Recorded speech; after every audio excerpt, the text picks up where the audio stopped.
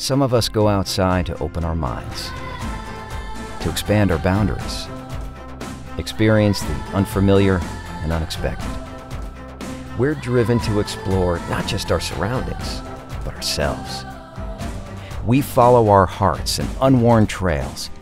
We seek exhilaration in rocks, roots, docks, and fairways.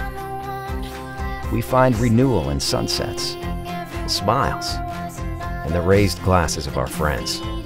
We embrace wonder and limitless possibilities. We let curiosity be our guide, and we lose ourselves to the wilderness of our spirit.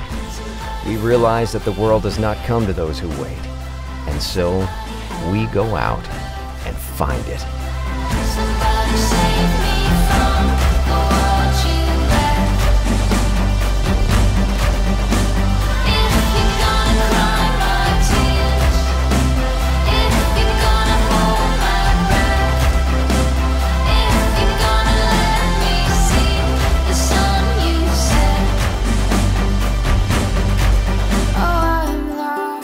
Discover yourself.